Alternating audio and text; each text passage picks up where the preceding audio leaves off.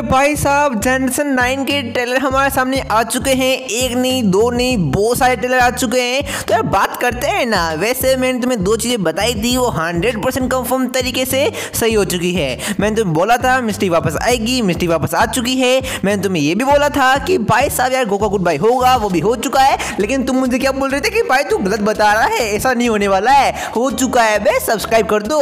और भाई very very emotional अपनी एज की बटर बटर फ्री वापस आ चुकी है। 25 साल के बाद हमको लगा था कि भाई बटर फ्री को आना चाहिए और आ चुकी है।